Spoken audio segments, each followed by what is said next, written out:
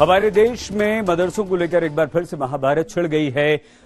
मध्य प्रदेश में शिवराज सिंह चौहान के मंत्री उषा ठाकुर के एक बयान से भूचाल आ गया है।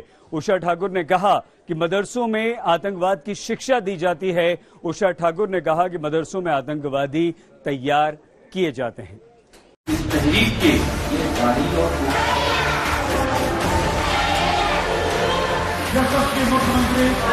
इस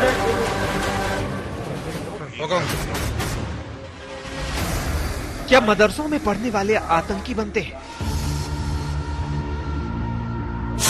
क्या मदरसे आतंक फैक्ट्री है? क्या मदरसों में राष्ट्रवाद का पालन नहीं होता?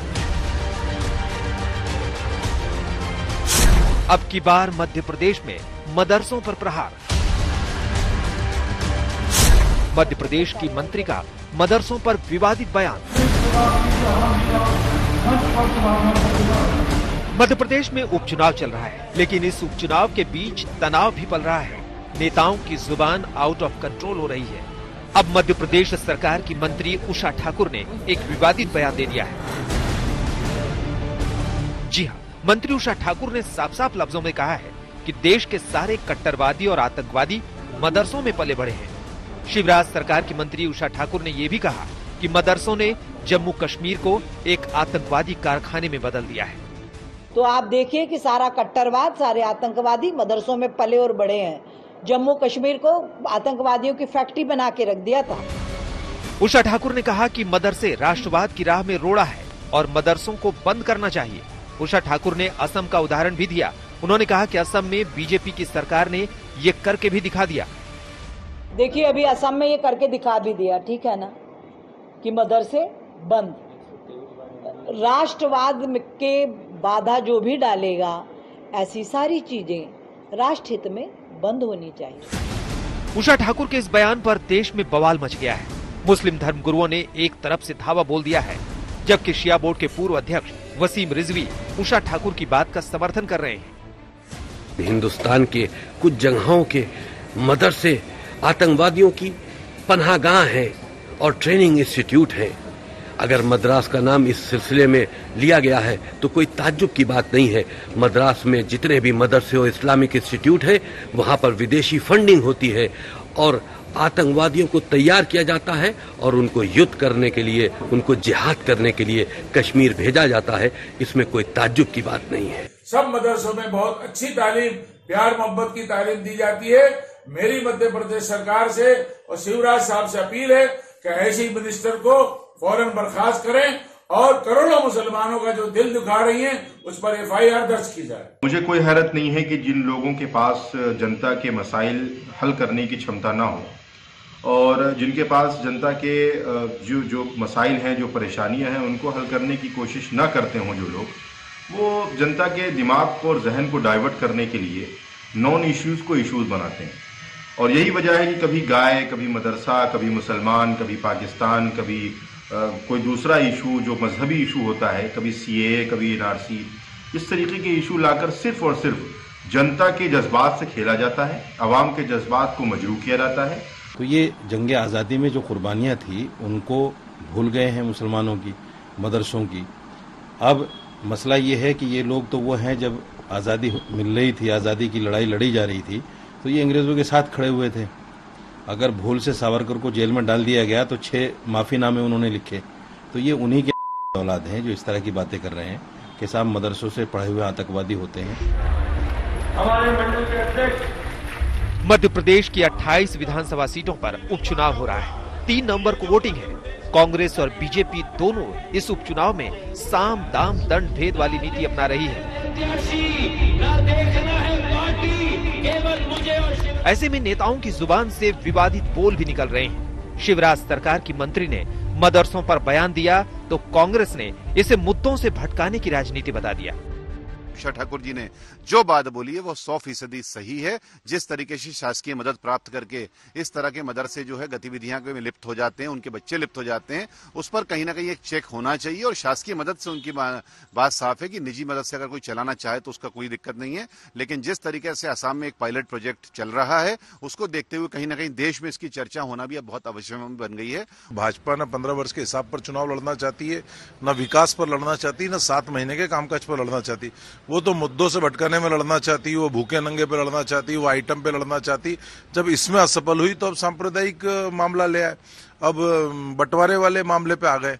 तो ये लगातार तो चुनाव जैसे जैसे आएँगे, इस तरह चुनाव को मुद्दों से भटकाने का काम भाजपा करेगी। इसलिए हम इससे किसी भी मामले में प्रतिक्रिया भी नहीं देना चाहते उनकी मंत्री ने जो बयान दिया है, शर्म आनी चाहिए, मदरसे हो चाहे स्कूल हो, वहाँ आतंकवादी नहीं बना करे, करते, वहाँ बच्चे पढ़ाई करते हैं।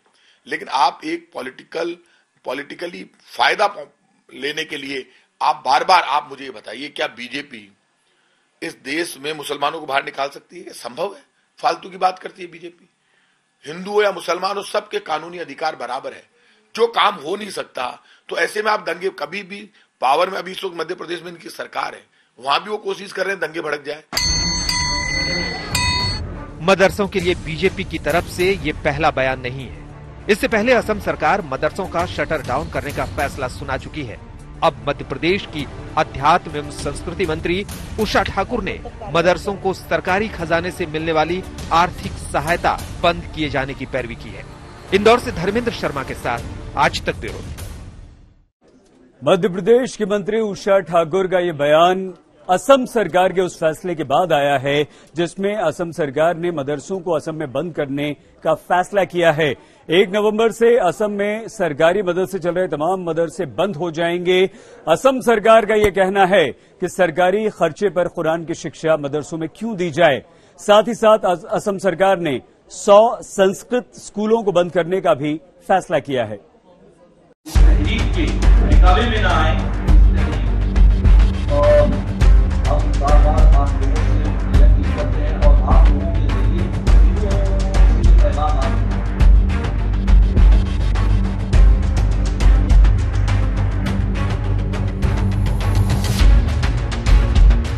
देश में चलने वाले मदरसे कई सरकारों की नज़र में खटकने लगे हैं। मध्य प्रदेश की मंत्री मदरसों को आतंक की फैक्ट्री बता रही लेकिन असम सरकार मदरसों को लेकर एक बड़ा फैसला पहले ही कर चुकी है। जी हाँ असम सरकार नवंबर से मदरसों को बंद करने जा रही है।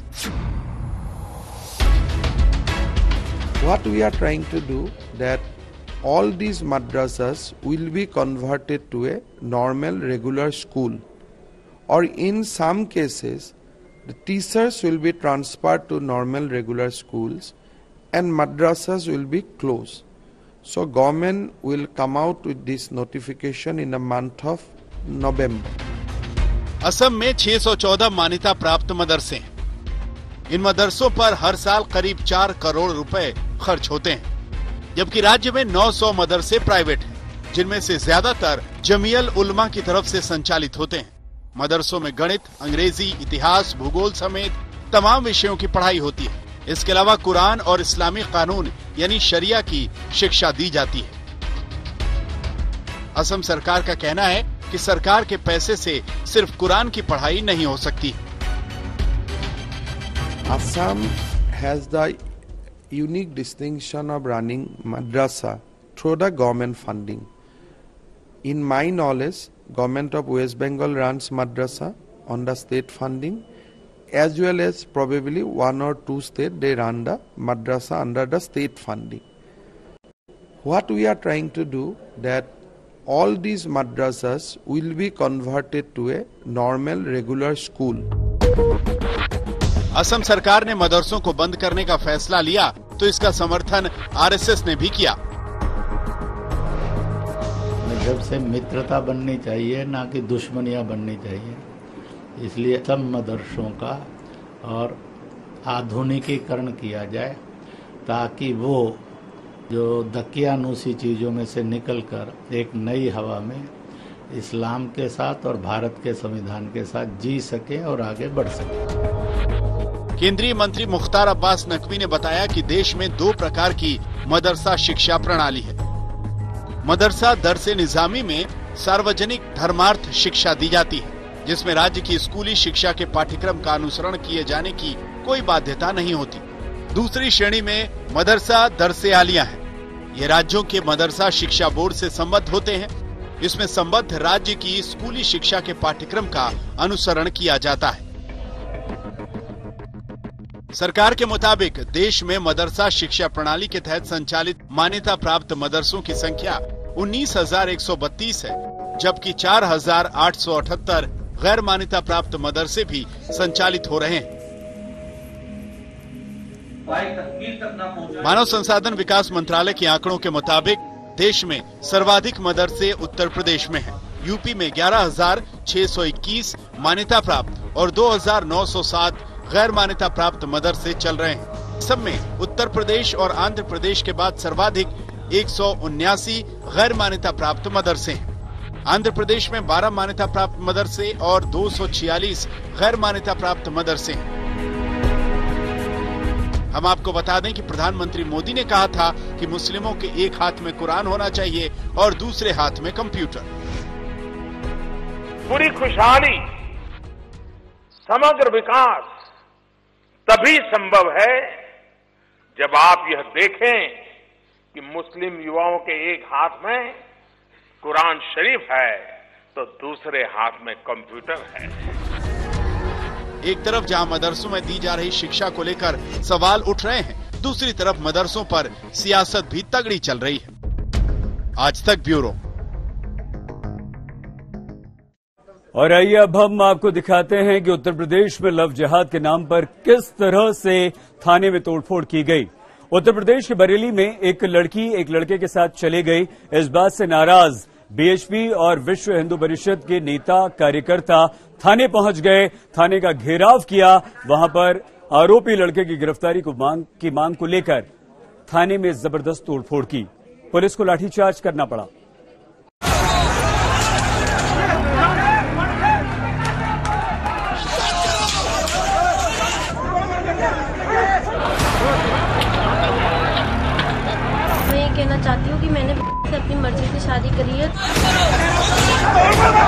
तो जो लव जिहाद वाला मामला चल रहा है हिंदुस्तान के अंदर उसको अपनाते हुए को फंसाकर और बहला फुसलाकर अपने साथ ले गए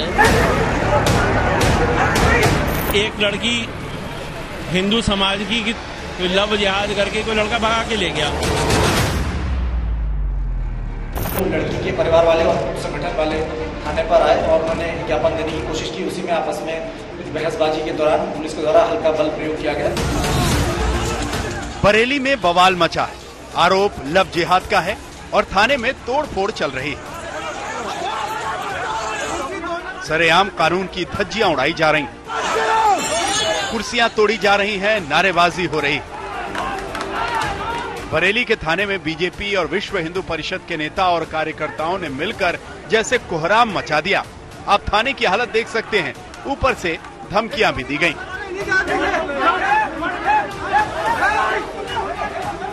भीड़ काबू में नहीं आई तो दूसरे थाने की पुलिस को भी बुलाया गया और सख्त एक्शन के बाद हालात को काबू में किया गया। लेकिन ये सब क्यों हुआ? अब इसके पीछे की पूरी वजह आपको बताते हैं। बरेली में बीजेपी, वीएचपी के कार्यकर्ता और नेताओं ने ये बवाल। एक हिंदू लड़की के मुस्लिम लड़के के साथ भाग जाने के बाद शुरू हुआ। बरेली के कप्तान से गुजारिश है, एनपीसी से गुजारिश है। बरेली में ये खबर आग की तरफ़ फैल गई और बीजेपी और वीएचपी वाले लव जिहाद की तख्तियाँ लेकर थाने पहुँच गए।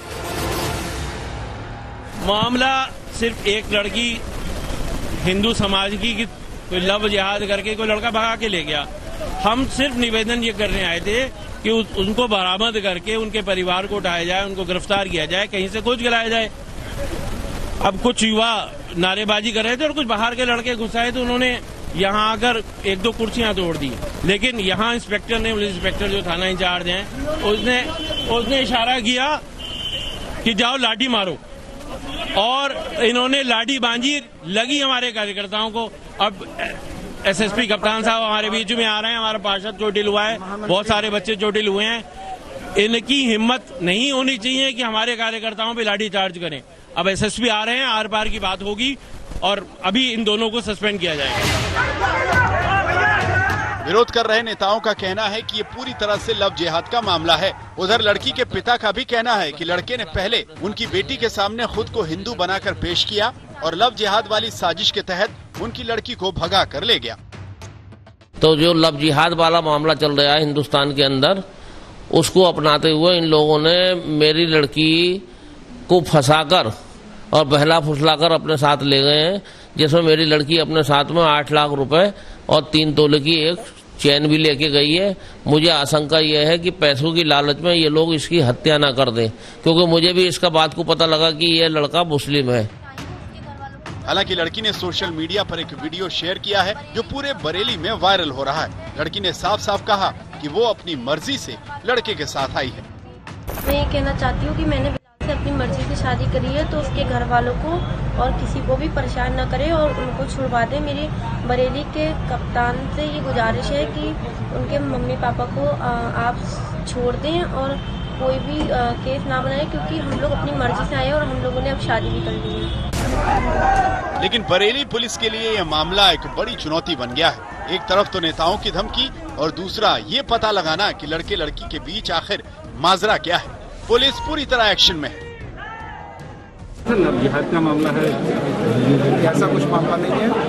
और बाकी टॉप मोस्ट प्रायोरिटी पे लेकर के लड़की को बरामद किया जाएगा और जो नियमानुसार कार्रवाई है, वो करवाई जाएगी। कोर्ट में उनको प्रोड्यूस किया जाएगा और जैसा वो करेंगे, बयान देंगे अपना, उसके हिसाब से लेकिन लव जिहाद के नाम पर बरेली में जो बवाल कटा, उसमें कानून की धज्जियाँ सरेआम उड़ती दिखी। कृष्णराज, बरेली, आज तक।